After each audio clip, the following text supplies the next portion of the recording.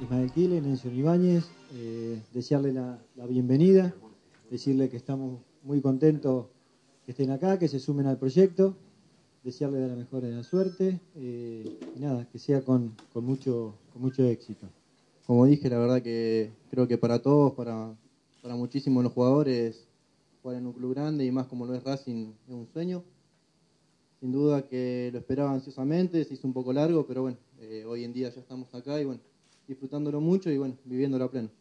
Eh, a mí me tocó jugar mucho como mediocampista eh, en una etapa en Colón.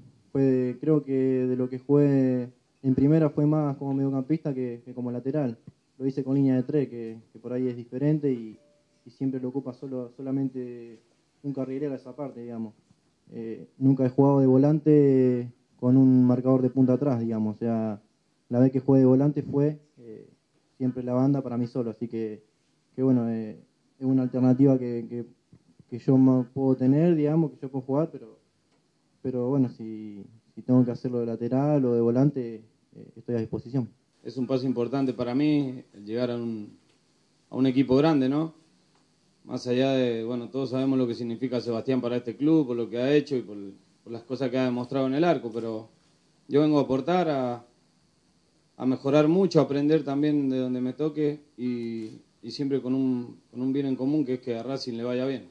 Es cuestión de entrenar, de estar bien preparado y que cuando toque la oportunidad estar a la altura de las circunstancias. El grupo muy bien, me, recibió de primera, la verdad, y Sebastián se me arrimó, estuvo hablando un poco conmigo y me contó cómo eran las cosas en el club, cómo se manejaban, todo un poco lo que es el mundo Racing, así que nada, lo mejor. Hoy día entrené ya con él y con, los otros dos muchachos y con Nacho González y muy cómodo, la verdad, muy cómodo.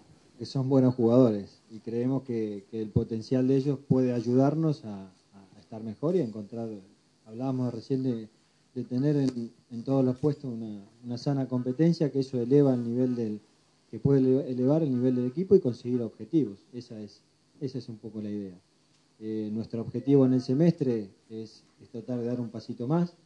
Eh, ya por ahí no pensamos en el campeonato de 30 puntos, sino queremos un poco más, tratar de, estar en la lucha de, la pelea de los torneos.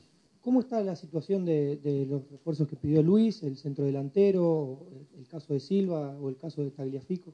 En, bueno, por ahora se está, se está hablando, negociando, eh, hay algunas, eh, algunas trabas complicadas en cuanto a lo, a lo económico. Hoy por hoy no es, no es fácil poder sumar, poder sumar un jugador.